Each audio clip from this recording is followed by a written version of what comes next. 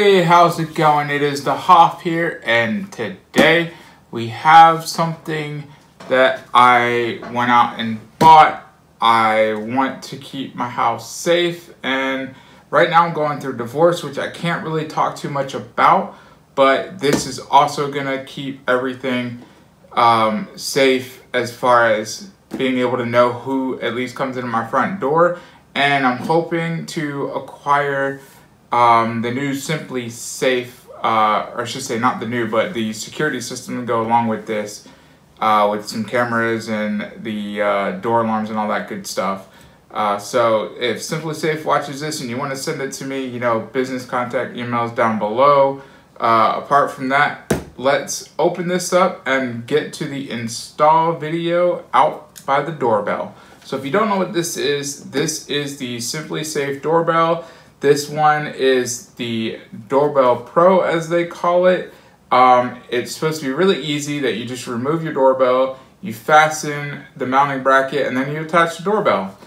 Uh, this one will work with the Google Home or the Alexa product. So if you have the um, uh, Amazon Show, Sorry, you should know that one. be able to use it. Yes, she heard me. So you should be able to use it if you have the Amazon Show and be able to uh, see it. And then you can use your phone, which here it looks like they just have an older iPhone and it will alert you. So the doorbell specs here, you have three colors. So you have a cloud, a jade, which is more of a light teal kind of green, and then obsidian, which is black.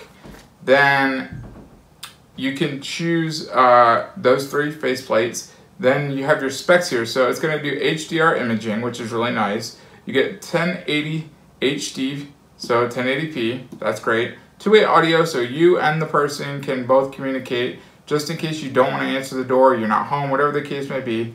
You have smart motion detection, so it's going to let you know that someone's come up to your door regardless if they hit the door button. Motion alert, so same deal.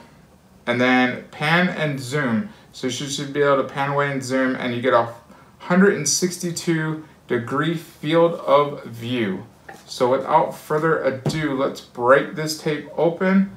Let's actually look at it a little closer, see what comes inside. And I like this one because it's also supposed to work with the door chimes, which is another thing I wanted to make sure of. So, first things first is you have the doorbell itself.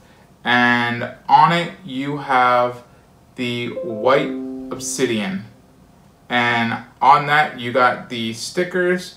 So you have what looks to be a sensor there, a possible mic there, and then your camera's up here. There's a protective uh, film to peel off and your button is down here. On the back, which uh, I won't show, but it says SimpliSafe. It's the model number of it, and you have your serial number, and you have the uh, scan code, which I'm assuming is how you connect the app, but we will figure that one out in just a moment.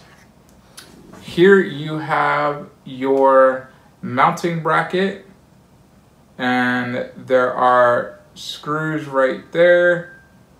Uh, that should give it power to mount and be good to go. And then it looks like you have double-sided sticky tape to hold it up besides the screws. And then taking this piece off, we have a few other things that you may need. So, a few other things you may need. There's a little pull tab here.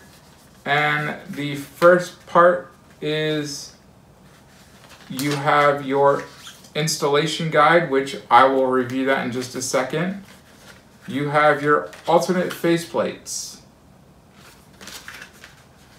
Then back here, you should have everything you really need. It gives you an angled base, so in case you want to have it more tilted. And then you have a small mini screwdriver and you have screws and that should be everything. So four screws, angled bracket, and before we even get to the outside portion, let's go ahead and break off the jade because I'm going to install the jade version of this and instead of having to cut it you should just be able to there you go pull it just like that. And then this is just clipped on. So we should just be able to pop that off. And pop on the jade and put the film back on. So there is the jade. There's also a speaker at the bottom and a hole at the bottom. So there you have it on that. Now, what I will do is we will talk about the installation guide right here. So it's fairly simple. You turn off the power to your doorbell at the circuit breaker. So that's going to be really important. You don't want to shock yourself or have any issues with electrical power still going to your current doorbell. Turn off each of the switch one at a time and attempting to see if you press the doorbell and it still rings. Then you should remove your existing doorbell, which that should be self-explanatory. You're going to have to do that and wrap the wires around a pencil. Use tape to prevent them from falling back into the wall.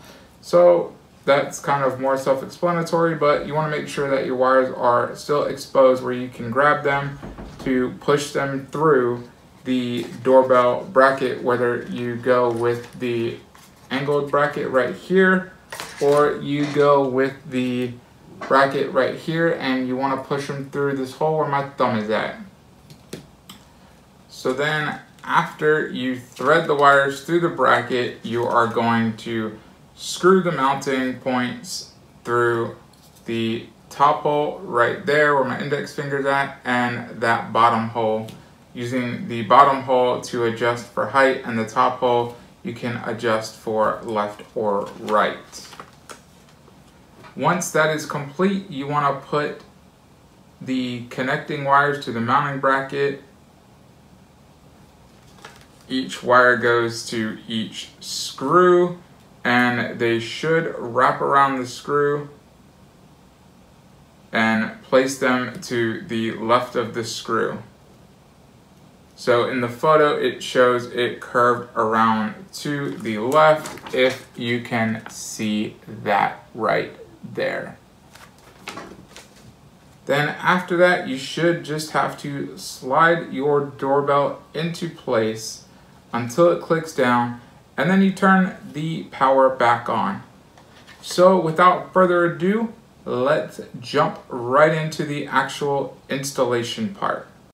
Okay, so here we have the part where you're supposed to take off your old doorbell if you are not doing a new house. So the first thing you do is take off the screws, and then once you get the screws, you'll see the wire on your old doorbell. Take those two wires off and be cautious. They could be old. Then pick out the backplate you want, whether it's flush or you want the angled backplate.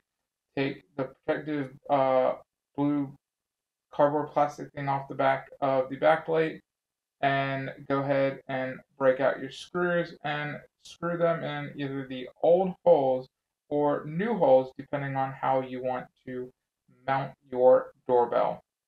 Once you have the doorbell backplate on is when you're going to grab the wire that you should have sticking out and you want to go ahead and make sure it's pulled out while you're going and putting on the back plate so it doesn't fall in and you want to kind of straighten the wires out, but be a little cautious because those wires could be older and they could easily break, and then you're going to strip back the shielding to expose some more of the wiring again. So it doesn't take much. Just go ahead and do that. And you want to round it off around the screws so you can screw them down. The screws won't come all the way out, so you're going to have to flatten out and then round it off a bit. It's not too much work, kind of easy. You just got to be a little cautious. After that, you go ahead and put the doorbell on, and then you put the special screw on the bottom that has its own special uh, star style uh, screw top, and then we get into the software itself on the app, and that is pretty easy. It's going to say, What is your Wi Fi? Then you're going to put in your password, and as soon as you're done putting in your password for your Wi Fi, it is going to tell you which doorbell you want this to be for what door, and then it's going to ask you, Is it flashing? And then it's going to tell you that a code will pop up, and it wants you to scan this code on the doorbell for the doorbell to see it. That code is going to allow the doorbell to connect to your Wi Fi. That way, you don't have to do nothing special to make it super easy for you. It does take a little bit of time because your doorbell's got to find the Wi Fi, connect to your Wi Fi, so you got to make sure you have a decent signal strength by your doorbell that's going to provide you with the best clarity for sound and video as well. Once that is done, as you'll see here, it's going to take a little bit then it will eventually pop up with this to check your camera. And upon doing so, you'll be able to check the clarity for video and audio of your camera. After that, you can look at the settings, but I will tell you the settings are pretty much set from the factory to be the best settings possible. After that, I will go ahead and wait a little bit for a couple days, do some testing, and then give you my honest feedback opinion.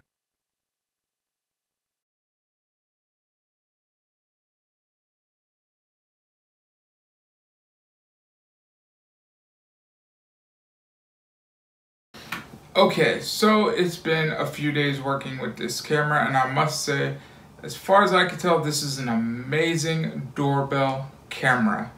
So the clarity is on point, whether it's daytime, nighttime. I had no issue seeing any of the items that I needed to see on camera or the people. The audio was spot on. Yes, of course, because it's going over Wi-Fi, there's going to be a delay. But the delay shouldn't matter because the purpose of it is to see who is there.